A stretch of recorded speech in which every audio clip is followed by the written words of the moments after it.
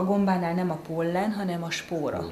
A spóra allergizál, ugye a háztartásokban gyakran előforduló penészgomba veszélyére hívja fel a figyelmet a szakember. Gázoltánné azt mondja, ilyenkor, amikor a szabadban párás a levegő, könnyebben szaporodnak el a háztartásokban is az allergiás rohamot kiváltani képes penészgombák. Erre akár egy gyakran takarított otthonban is komoly esély lehet. Előfordulhat, hogy valakinek a lakásában is elszaporodnak nem megfelelő szellőztetés esetén, nem megfelelő lakásfelújítás következtében.